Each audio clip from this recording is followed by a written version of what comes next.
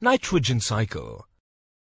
Nitrogen is an essential constituent of all major organic compounds present in living organisms, that is, amino acids, proteins, enzymes, nucleotides, and nucleic acids.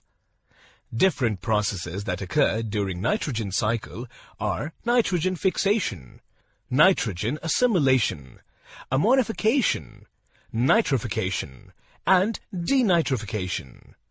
Nitrogen is picked up as inorganic compound from the atmosphere and is changed into organic form by plants and some prokaryotes. The atmosphere contains 78% of nitrogen in gaseous state, yet animals cannot use it directly. They can use nitrogen either in inorganic forms as ammonia, nitrites, and nitrates, or in organic form as urea, proteins, and nucleic acids.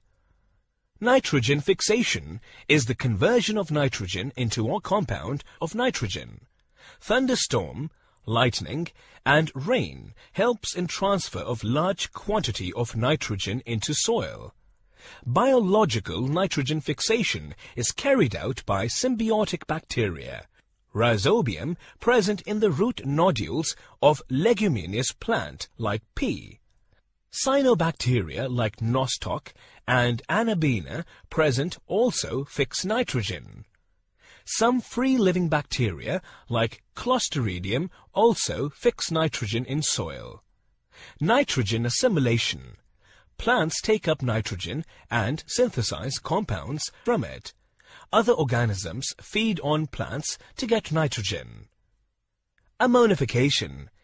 It involves the decomposition of proteins of dead plants and animals, and nitrogenous wastes like urea, uric acid, etc. of animals to ammonia in the presence of ammonifying bacteria. Nitrification it involves the oxidation of ammonia to nitrates through nitrites in the presence of nitrifying bacteria, that is, Nitrococcus, Nitrosomonas, etc.